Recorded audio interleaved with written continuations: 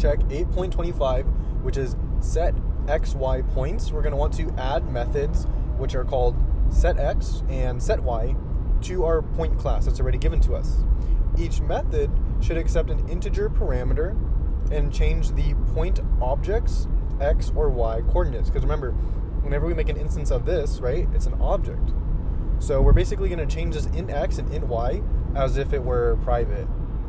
And going along with that, remember we can't modify these directly, so we have to set a method down here that does it for us. And that's gonna where that's gonna be where our um, public, because it's going to be accessible outside of our method, void because it's not returning anything, and then set x comes in. Here we are going to be passed in an integer x, right?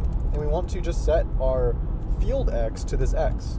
So this dot x is equal to x. And if you don't know what this is, we've explained it before, but quickly going over it again, uh, if you have two of the same variable names, the this will grab the field name instead of the immediate value or the immediate uh, name, variable name here. And that's pretty much all you're going to need to do. So repeat this for y as well. So we'll do set y, and this is going to be int y, and then we have this dot y is equal to y. Let us submit that. See what we get. It's running our our tests now, and we've got seven out of seven tests. So that's how you would do that. If you want any more problems, they're all in the description below the like button in the playlist. We go over all these problems and talk all about them.